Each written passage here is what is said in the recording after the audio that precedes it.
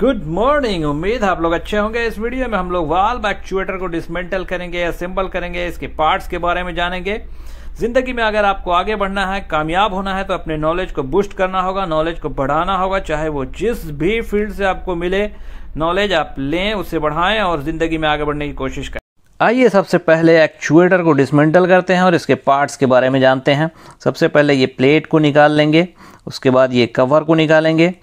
और उसके बाद स्प्रिंग पर कितना टेंशन है उसको मार्क कर लेना है आपको और उसके बाद स्प्रिंग के टेंशन को रिलीज़ कर देना है। यहाँ पे आप देख सकते हैं कि इस तरह से स्प्रिंग का टेंशन जो है उसको रिलीज़ कर लेना है। उसके बाद जो है एक्चुएटर का टॉप कवर को निकाल लेंगे। उसके बाद कुछ इस तरह का आपको एक स्प्रिंग दिख रहा है यहाँ पे। स्प्रिंग को निकालेंगे। उसके बाद यहाँ पे आप देख सकते हैं चेकनट। चिकनट से जो है डाइफ्राम के ऊपर वाली प्लेट को जो है लॉक किया जाता है। इसको निकाल लेना है।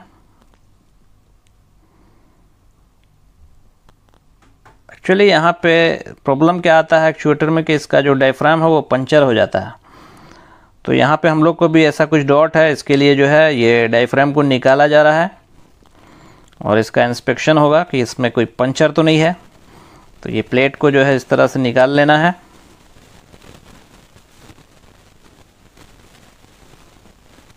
प्लेट के साथ जो है ये ब्लैक कलर का आपको जो टायर दिख रहा है, टायर का ये जो है डाइफ्राम कहलाता है, ये डाइफ्राम है। और इसी में क्या होता है कि ज़्यादातर पंचर हो जाता है।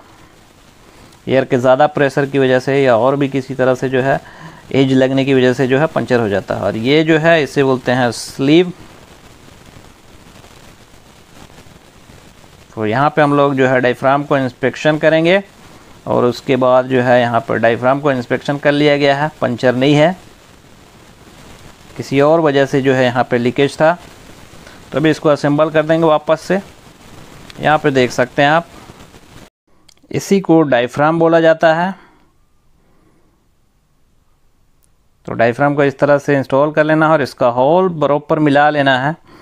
नहीं तो प्लेट टाइट हो जाने के बाद क्या होता है? डाइफ्राम का होल जो है मिसमैच हो जाएगा। तो फिर से आपको जो है इसे लूज़ खोलना पड़ेगा और उसके बाद जो है हॉल मिलाना पड़ेगा।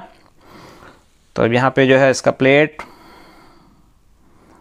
इंस्टॉल करेंगे, इसके बाद चेक नट लगाएँगे और हॉल पे प्रॉपर ध्यान देते रहना है। डाइफ्राम का हॉल जो है वो आउट नहीं होना चाहिए, नहीं तो बाद में बोल्ट आएगा नहीं उसमें। और यहाँ पे आप देख सकते हैं चेकनट में एक छोटा सा हॉल है जिसमें क्या है एलिन स्क्रू दिया जाता है। जब चेकनट को टाइट कर लिया जाता है तो उसको लॉक कर दिया जाता है ताकि ऑपरेशन में खुले नहीं। तो चेकनट को भी अच्छा अच्छी तरह से टाइट कर लेना है। बहुत ज़्यादा भी टाइट नहीं होता है। एवरेज में आपको इसको टाइट करना है, एक लिमिट है। और चेकनट को टाइट कर लेना है।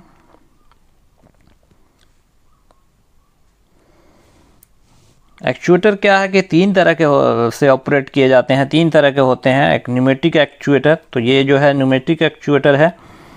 हाइड्रोलिक भी होता है और इलेक्ट्रिक भी होता है एक्चुएटर तो ये जो एक्चुएटर है, ये न्यूमेटिक टाइप एक्चुएटर है, यानी हवा से इसको ऑपरेट किया जाता है।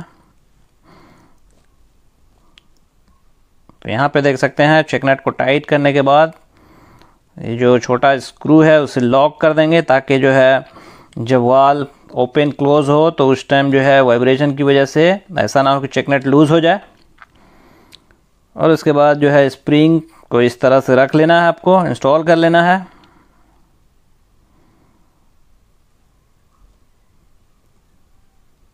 और इसके बाद जो है एक्चुएटर का टॉप कवर जो है उसको इंस्टॉल कर लेना है।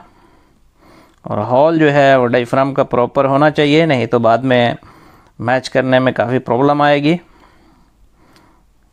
यहाँ पे आप देख सकते हैं इस प्लेट के ऊपर जो है छोटे छोटे बॉल हैं, जो टॉप में एक चेकनेट आता है। स्प्रिंग को टेंशन देने के लिए वो जो है इस पर प्रॉपर रोटेट करता है। कवर को डिसमेंटल करने से पहले आपको मार्क कर लेना है कि इसका पोजीशन क्या था। यहाँ पे देख सकते हैं मार्क कर लिया गया है और इसको आपको मैच कर लेना। है उसके बाद इसकी बॉडी का क्रॉस में बोल्ट को टाइट कर लेना है अपोजिट अपोजिट अच्छी तरह से, नहीं तो यहाँ से भी जो है एयर लीक हो सकती है। और उसके बाद जो है स्प्रिंग मेन स्प्रिंग के ऊपर बराबर जो है स्प्रिंग पे बराबर टेंशन दे देना है, जितना पे आपने जो है खोला था। जैसे यहाँ पे आप देख सकते हैं, यहाँ पे हम लोगों ने मार्क करके रखा है। चेकनट का जो टॉप पोजीशन है, वो यहाँ पर आएगा। तो यहाँ तक आपको भी प्रॉपर टाइट कर लेना है। आइए आगे बढ़ते हैं, इसके ये है वाल बॉडी यानी बॉटम वाला पोजीशन जो है उसको वाल बॉडी बोलते हैं। वाल्व का बॉडी है। और यहाँ पे एक छोटा सा स्केल लगा हुआ है, जिससे आपको पता चलता है कि वाल्व कितना परसेंट ओपन या क्लोज पोजीशन में है। और ये एक्चुएटर देखेंगे तो दो तरह का एक्चुएटर भी होता है। एक तो air to open air to close यहाँ पे एयर जो है टॉप से दी जा रही है। जब एयर दी जाएगी तो वाल्व क्लोज होगा और एयर रिलीज़ कर दी जाएगी तो वाल्व ओपन हो जाएगा।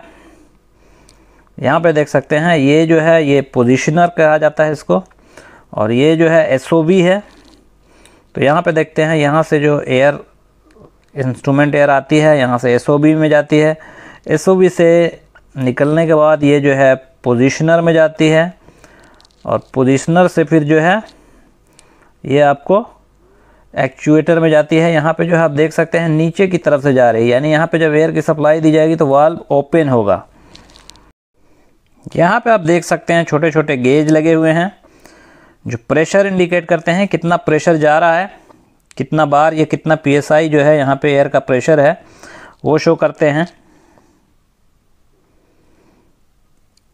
और यहाँ पे पोजिशनर जो लगा हुआ है, ये पोजिशनर भी जो है तीन टाइप के होते हैं pneumatic positioner electropneumatic positioner and digital positioner और यहाँ पे आप देख सकते हैं एक एस है जिसका प्रेशर जो है इस बोल्ट से सेट किया जाता है।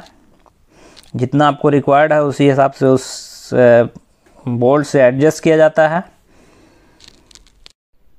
और अब जो है हम लोग वाल्व को ओपन, क्लोज करके डीसीएस से कंफर्म करेंगे कि फ़ील्ड का जो स्केल है उसके हिसाब से कंट्रोल रूम में जो है ओपन हो रहा है या नहीं हो रहा कितना परसेंट फ़ील्ड में ओपन हुआ तो डीसीएस में कितना ओपन हो रहा है। वो यहाँ पे वेरीफाई कर लेते हैं, यहाँ पे आप देख सकते हैं। 75 परसेंट और कॉल करके जो है डीसीएस से में आपको कंफर्म कर लेना है कि यहाँ पे 75 परसेंट ओपन हो गया, वहाँ पे ओपन हुआ या नहीं हुआ। फिर उसके बाद यहाँ पे 50 परसेंट इंचज वैल्यू यहाँ पे जो है इंचज में खुलता है। मतलब आपको जितना परसेंट चाहिए, उतना परसेंट खुलेगा।